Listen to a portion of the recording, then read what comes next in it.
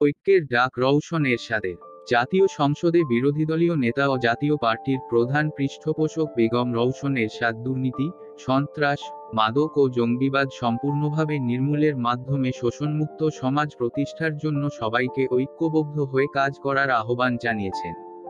তিনি বলেছেন বলার অপেক্ষা রাখে না দুর্নীতি দেশের অন্যতম বড় সমস্যা।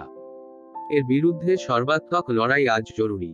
সন্ত্রাস ও সহিংসতা দেশে একটা বড় ব্যাধি। এর বিরুদ্ধেও দলমত নির্বিশেষে সবাইকে এক হয় সংগ্রামে সামিল হতে হবে। তা না হলে দেশ থেকে এগুলো দূর করা যাবে না। বুধবার জাতীয় সংসদে রাষ্ট্রপতির ভাষণের ওপর আনা ধন্যবাদ প্রস্তাবের ওপর আলোচনায় অংশ নিয়ে বেগম রৌশন এরশাদ এসব কথা বলেন।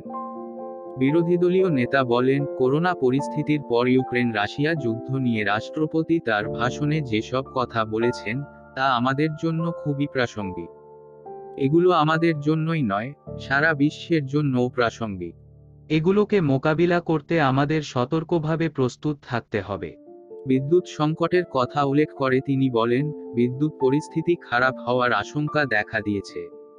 সব মহলের আপত্তির পরও সরকার বিদ্যুতের দাম বাড়িয়েছে, এতে সবকিছুর খরচ বাড়বে।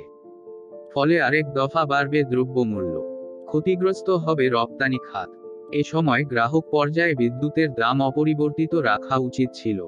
আমি আশা করব বিষয়টি পুনর্বিবেচনা করবে সরকার। বেগম রৌশন এরশাদ বলেন প্রবৃদ্ধি সাত। বাহান্ন শতাংশে দাঁড়িয়েছে সামগ্রিক অর্থনৈতিক বিবেচনায় ইতিবাচক। মাথাপিছু জাতীয় আয় পূর্ববর্তী অর্থবছর থেকে দুইশো তেত্রিশ ডলার বৃদ্ধি পেয়ে দুই হাজার আটশো চব্বিশ মার্কিন ডলারে দাঁড়িয়েছে। কিন্তু অর্থনৈতিক উন্নয়নে জিডিপি কতটা কার্যকর, তা নিয়ে ইদানিং প্রশ্ন উঠেছে।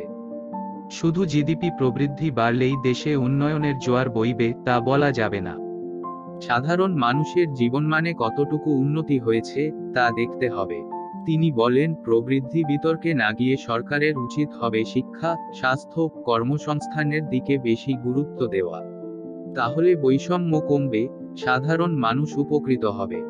দেশের মধ্যবিত্ত ও নিম্ন আয়ের মানুষকে রক্ষা করতে হলে এমন পদক্ষেপ নিতে হবে যাতে কৃষক ন্যায্য মূল্য পায়, ভোক্তারাও সহনীয় দামে খাদ্যশস্য কিনতে পারে। সঠিক সময়ে সঠিক সিদ্ধান্ত গ্রহণ করে খাদ্যশস্যের দাম সহনীয় পর্যায়ে রাখতে হবে সরকারকে।